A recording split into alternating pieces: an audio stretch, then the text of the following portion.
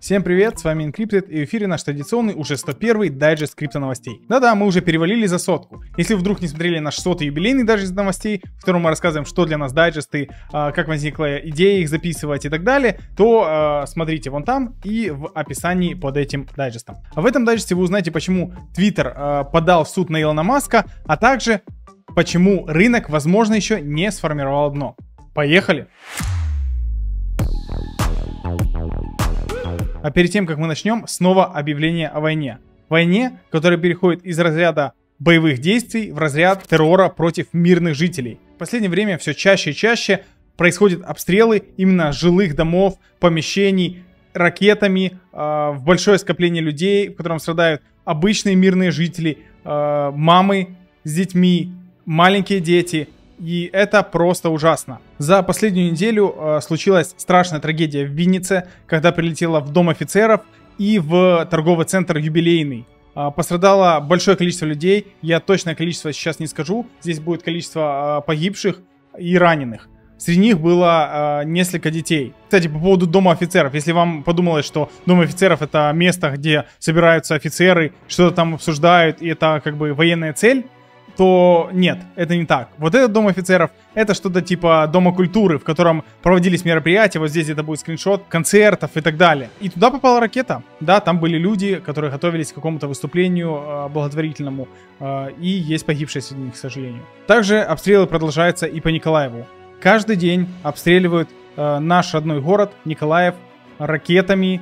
И вот э, на этой же неделе ракеты попали в два самых больших университета в нашем городе. Это университет Сухомлинского, в котором я учился, и Николаевский кораблестроительный институт. И вот эти все действия, они похожи на прямой террор против э, мирного населения. Эту войну нужно остановить. Помните, я постоянно говорил про донаты, волонтерство, помощь армии. Это очень важно. Но также очень важно э, уведомлять мир о том, что происходит здесь. Э, заводите аккаунты в Твиттере, если у вас нет.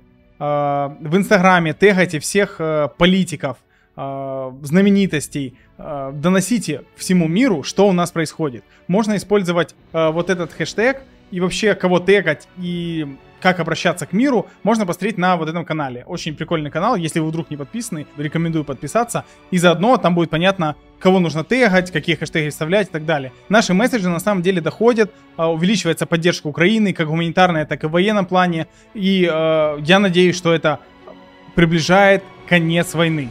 Но как бы не было тяжело и страшно, все войны рано или поздно заканчиваются, и зло э, непременно получит наказание. А все диктаторы, которые начинают маленькие победоносные войны, всегда или практически всегда заканчивают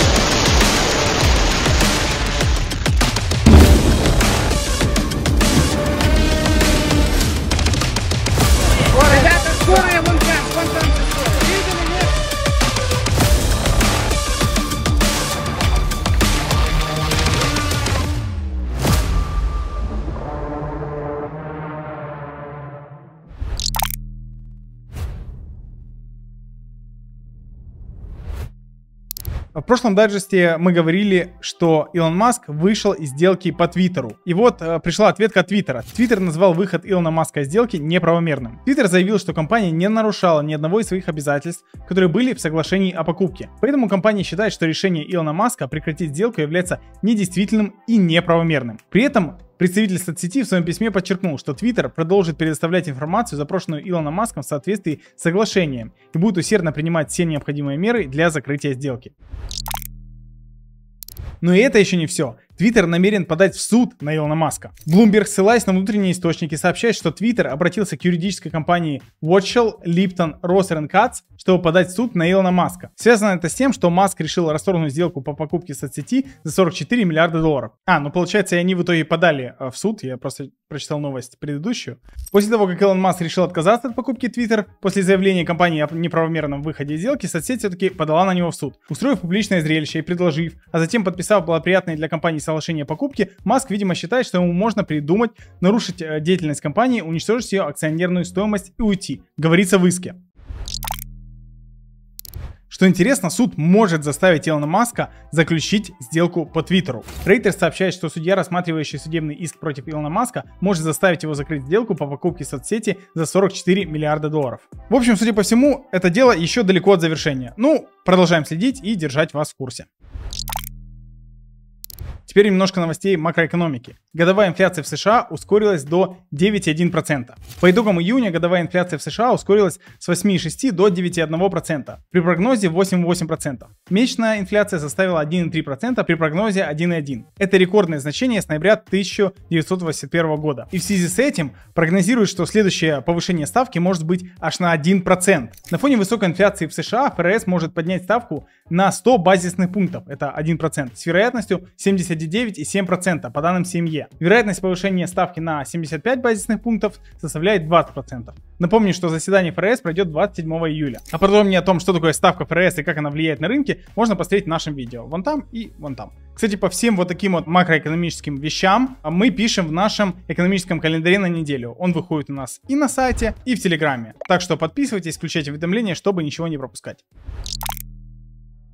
Переход эфира на Proof of Stake запланирован на сентябрь. Команда разработчиков эфира запланировали переход сети на Proof of Stake на 19-25 сентября. Но дата миграции предварительная и неточная. Окончательная дата будет зависеть от того, как 11 августа пройдет миграция тестовой сети Грели на Proof of Stake. Напомним, что ранее успешно мигрировали тестовые сети Robson и Sepolia.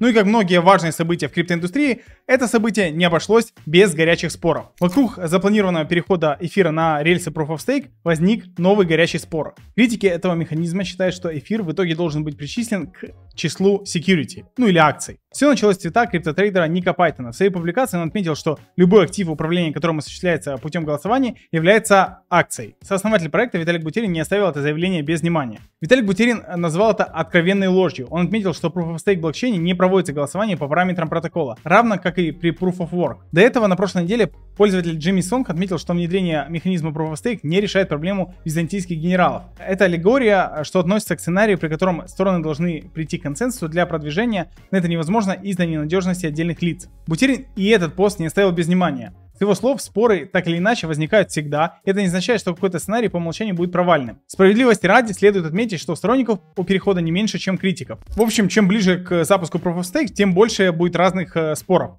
Один из самых э, вот важных и опасных то, что uh, Proof of Stake не решит проблемы эфира. Есть вероятность такая, да, высокие комиссии, пропускная способность и так далее. Еще есть такой вопрос, что не признает ли uh, эфир security, то есть акций то, что будет подпадать под закон о ценных бумагах. То есть э, Proof of Stake, как э, эфир, как монета будет дивидендной, начислять тебе проценты на твой стейк, ты будешь принимать участие в голосовании и так далее. В общем, если его вдруг признают security, то это будет очень плохо с точки зрения регуляции. Его будет э, причислять к обычным акциям, а крипта это не акции, их нельзя регулировать как акции. Ну и могут возникнуть некоторые проблемы, как минимум с точки зрения доступа к активу. А, ну и сама цена актива тоже отреагирует незамедлительно, скорее всего, а, резким падением.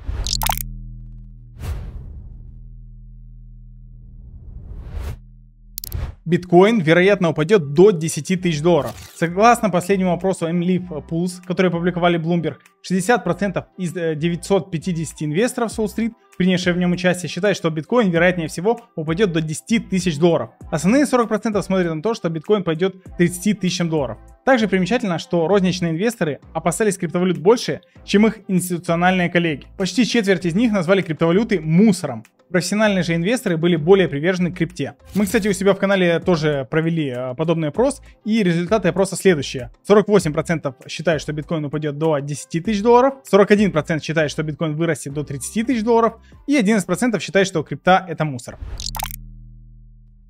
Но, возможно, цена в 10 тысяч долларов не кажется такой уж и фантастической, если посмотреть обоснование. По данным JP Morgan, стоимость добычи одного биткоина упала примерно с 24 тысяч долларов до 13 тысяч. В основном это происходит из-за того, что майнеры устанавливают более эффективное оборудование. JP Morgan также отметили, что снижение затрат на электроэнергию может негативно отразиться на росте цены биткоина в будущем. Объясняется это тем, что стоимость затрат на майнинг воспринимается некоторыми инвесторами как нижняя граница ценового диапазона. Ну, так называемая стоимость розетки или условное дно себестоимости биткоина.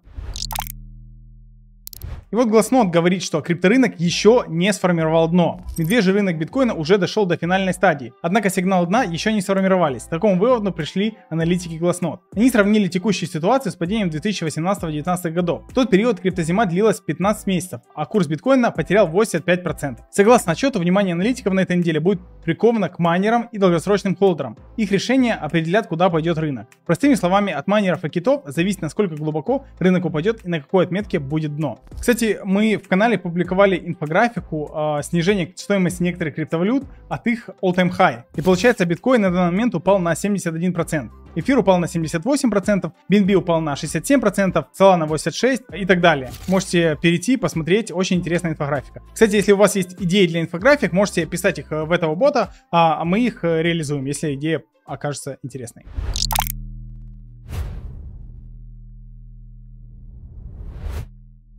Помните историю с Цельсиусом? Если вдруг не помните, то можете посмотреть его там. Если если кратко, то Celsius это такая лендинговая платформа, которая э, на ваши деньги давала какой-то процент. В общем, грубо говоря, децентрализованный или, или правильно сказать, централизованный криптобанкинг. В общем, у этих ребят были проблемы с ликвидностью из-за высоких маржинальных позиций, из-за того, что там рыночек в том числе упал, э, они не могли отдать э, средства крупным кредиторам, клиентам и так далее. В общем, эпопея тянулась очень долго, и на этой неделе она получила продолжение. Вначале Celsius нанял юристов для реструктуризации, потом спустя какое-то время их признали неплатежеспособным. Департамент финансового регулирования штата Вермонт заявил, что криптокредитор Celsius является глубоко неплатежеспособным. Департамент также отметил, что платформе не хватает ликвидности для выполнения своих обязательств перед клиентами и другими кредиторами. Департамент также присоединился к межштатному расследованию деятельности платформы. В заявлении об этом также утверждается, что у компании отсутствует лицензия на денежные переводы, что позволяет им действовать без э, регулирующего надзора. Также Celsius обвиняют в размещении незарегистрированных ценных бумаг. После этого э, становится известно, что Celsius Celsius погасил все свои долги. Криптокредитор Celsius погасил свой последний долг, оплатив 50 миллионов DeFi протоколу Compound и вернув около 10 тысяч VBTC залога.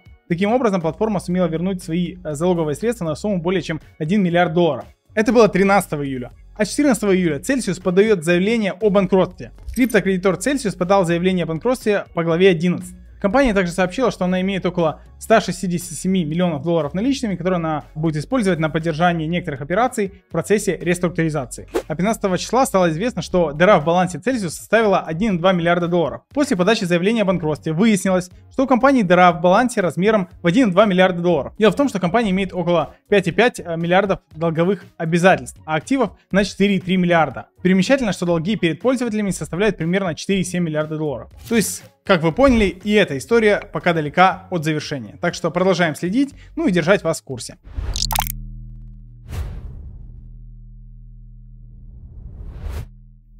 GameStop запустили бета-версию NFT маркетплейса. GameStop представил бета-версию своего NFT маркетплейса, который работает на ПК и мобильных устройствах. Поддерживает он пока что только блокчейн эфира, но платформа планирует в будущем интегрировать новые функции, в том числе блокчейн-игры и поддержку других протоколов. Для взаимодействия с маркетплейсом можно использовать кошелек GameStop, MetaMask и другие некастодиальные кошельки. В своем блоге GameStop также обещает низкие комиссии и пожизненные гонорары для авторов контента. Что интересно, а, GameStop запустились на эфире бету, хотя у них был договор, если я правильно помню, а, с Immutable X.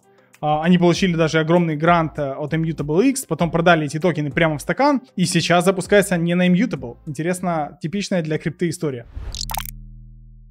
Знаете, что еще интересно в этой истории? То, что вот этот marketplace, который вот только-только запустился в бета-версии, геймстоповский, обошел Coinbase по объему на NFT маркетплейсах. Запущенный в бета-версии NFT Marketplace GameStop сумел обогнать по объему NFT Marketplace Coinbase. Примечательно то, что GameStop запустил платформу и обогнал Coinbase за два дня, при том, что Coinbase был запущен э, примерно с мая.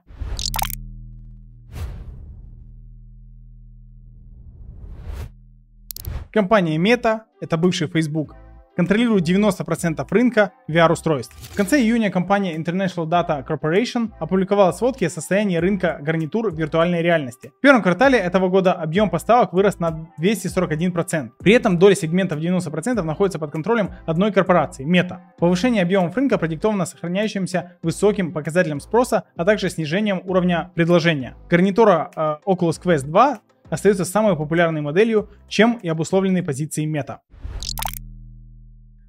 Polygon попал в список участников Disney Accelerator. Disney объявили список компаний на участие в Accelerator 2022, в который попал Polygon. Примечательно, что это единственная компания среди остальных участников, которая связана с криптоиндустрией. Accelerator 2022 — это программа для компаний и стартапов, которая направлена на поддержку разработки и внедрения новых технологий. Выделенные Polygon средства пойдут на развитие технологий в сфере Web3. Polygon, кстати, после этой новости вырос на более чем на 25%. Эта новость из телеграм-канала, она вышла на день позже, а новость э, буквально минута в минуту вышла у нас в чате. У нас есть вот новая рубрика, а, вот сейчас вы увидите пример. Это а, новости в чат, там по хэштегу можно искать. Ростик сразу, вот если видит новость и видит, что новость очень срочная, он публикует ее канал, иногда эти новости влияют на цену монет. В общем, еще один повод подписаться на наш чат и следить за новостями.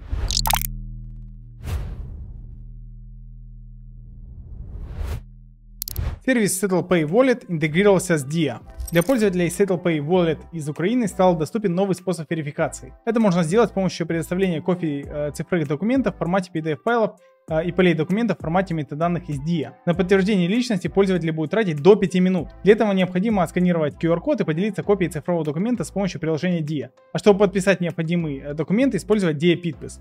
На самом деле это очень прикольная функция, которая позволяет вам э, верифицироваться очень просто э, при помощи приложения, в котором вы уже давно верифицированы, которое считается официальным. А, если я правильно помню, а, в Украине первые, кто такой внедрили, были WhiteBit. И это очень-очень крутая функция. Надеюсь, а, дальше будет больше компаний, которые внедрят именно такой функционал. Symbiosis запустят токен veSIS и проведут тестнет. Мультичейн протокола ликвидности Symbiosis Finance объявил о запуске одностороннего стейкинга токена SIS, за который пользователи будут получать токены veSIS. Награды будут начисляться еженедельно. Но пока что veSIS находится в тестовой сети BNB Chain. И чтобы собрать фидбэк и потестировать обновление, платформа объявила о награждаемом тестнете. С подробностями можно ознакомиться в текстовой версии этого дайджеста. А подробнее о том, что такое Symbiosis Finance, вы можете посмотреть э, в нашем видеообзоре.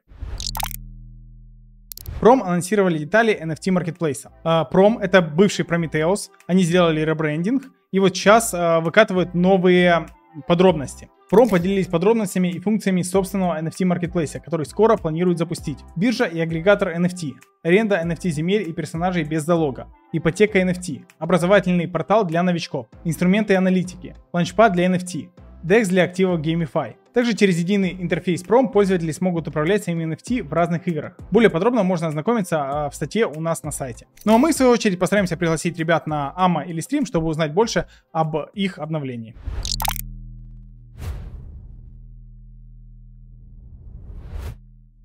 А сейчас мы вам расскажем, что нового у Encrypted, а также расскажем, как немного заработать. Мы наконец-то запустили наши собственные портфолио Battles. А, мы запускали это в 2018 году, потом, а, ну, это было очень-очень ограничено. Пользователи создавали свои портфолио на сторонних сервисах типа DropStop и CryptoCompare, а потом мы заносили это все в Google таблицы, один раз в день подбивали с Ваней итоги, и потом в итоге решали, кто победил. Слава богу, что участников было вначале не очень много, но это был очень-очень интересный опыт. Потом спустя несколько лет, э, спустя два года, мы э, попросили ребят из Мони, чтобы они помогли нам сделать такую платформу, и мы провели несколько бит. Ну и сейчас мы уже запустили наконец-то свою платформу, она пока в альфа-версии, но тем не менее она уже имеет тот функционал, который должна иметь для того, чтобы проводить батлы именно вот в базовом варианте. Более подробно о том, что такое портфолио батлы, а, всю их историю и о том, как участвовать в текущем портфолио батле, можно посмотреть вот в этом видео. Там Ваня рассказывает э, намного лучше, чем то, что я сейчас сумбурно рассказал. Э, ну, тем более сейчас нет особого времени это рассказывать. Если очень кратко, Portfolio Battles это штука, которая позволяет вам создать э, виртуальный портфель, в данном случае на 1000 долларов, продержать его неделю, и у кого будет лучшие показатели доходности, тот и победит. Призовые будут распределены следующим образом. Первое место 500 долларов, второе место 300 долларов, третье место 200 долларов, с 4 по 10 места по 50 долларов. Также будут разыграны 100 э, долларов за худший портфель. Да, именно так То есть э, нужно еще постараться, чтобы занять самое последнее место. И 100 долларов за лучшее описание портфеля. Описание портфеля вы создаете, когда создаете сам портфель. А, это очень субъективная штука. Один раз победил, например, человек, который при помощи э, хомяка выбирал монеты в свое портфолио. Он записал видос и вставил его в качестве описания. Эм, это вариант креативного описания, а не в том плане, что типа умное, образовательное или какое-то аналитическое. Но такое тоже подошло. То есть это параметр чисто субъективный. То есть это скорее поощрительный приз, чтобы вы э, давали волю фантазии, э, писали, э, либо снимали, создавали контент. То есть у кого есть такие задатки, может выиграть этот приз. Еще по условиям нужно подписаться на наш Telegram, наш YouTube и э, иметь аккаунт на Binance. Если у вас нет аккаунта на Binance, э, то зарегистрируйтесь э, по ссылке в описании и пройдите QSC. Обязательно должен быть пройден QSC, чтобы э, мы понимали, что это не бот. Ну и обязательно пишите ваш фидбэк. Мы будем стараться проводить битвы чаще, учитывать ваш фидбэк, э, стараться привлекать больше партнеров, больше призовых и так далее. Так что все зависит от вас. Еще на этой неделе было два стрима. Один был э, с Пашей из Дельта Тета, обсуждали ощущение крипторынка и кто выживет на рынке. Э, стрим получился традиционный с Пашей, был Паша и Влад. Э, интересно, аналитически, рекомендуем посмотреть, если вы пропустили. И второй стрим был про НИР. Там э, Ваня с э, Вадимом Заводилом обсуждали, э, что нового НИР,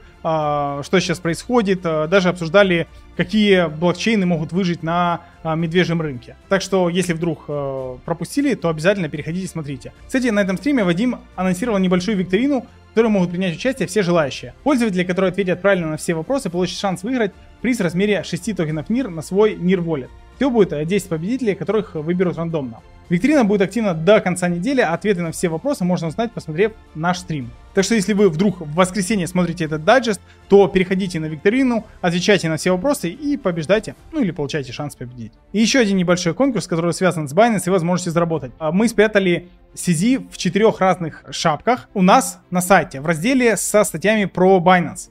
И все, кто найдут э, все четыре, добавят их э, в Google форму, э, получат шанс получить 50 долларов. Еще мы добавили 5 мест по 20 долларов.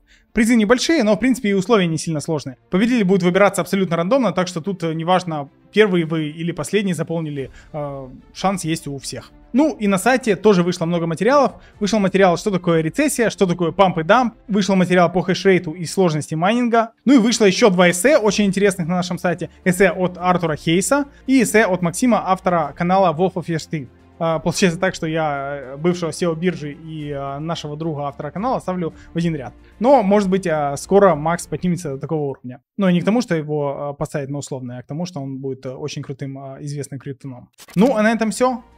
Подписывайтесь на нас, включайте все уведомления, участвуйте в битве, пишите фидбэк, ведь от этого зависит, э, насколько часто и какие призовые будут у следующих битв.